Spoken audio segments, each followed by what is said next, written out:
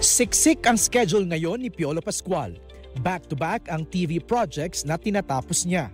I kind of missed it. You know, I just got out of the bubble. I finished a whole season of uh, my Papa P, and in a few days, I'm entering another bubble, uh, which will uh, have me uh, um, tape for a month. I would prefer it that way.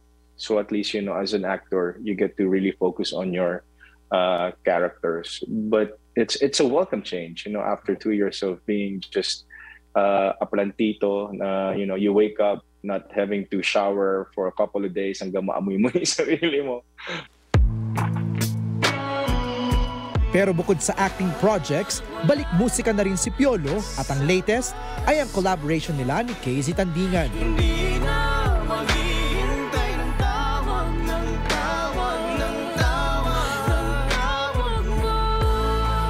We wanted to come up with all originals with mm, young songwriters. So the first one I did a duet with Yang, and then this one tawag mo is with Casey. G22 Speaking of young, may bagong girl group sa local music scene, ang grupong G22. Ready, ready, ready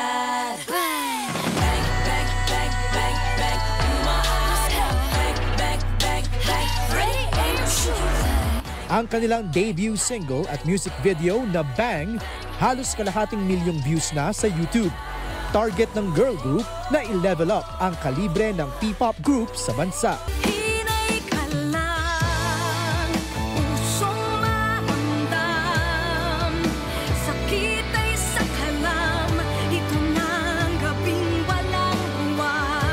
Pangmalakasan na talaga si Gigi Delana dahil for the first time, sasabak na siya sa kanyang kauna-unahang physical concert ngayong gabi sa Newport Theater of Performing Arts.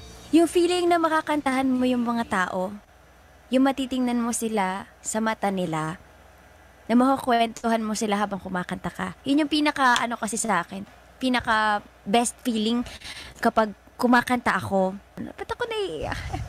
kasi ang sarap kasi na kinakantahan mo yung mga taong sobrang hilig din sa music. Kick-off na rin ito ng kanyang Domination World Tour. Biyahing Middle East ang New Gen Pop Rock Diva at ang banda sa Abu Dhabi sa March 18 at Bahrain sa March 25. MJ Felipe, ABS-CBN News.